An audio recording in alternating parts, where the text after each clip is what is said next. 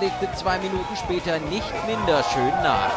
Düsseldorf gewinnt 2 zu 1 gegen den 23-maligen peruanischen Meister. So kann's weitergehen.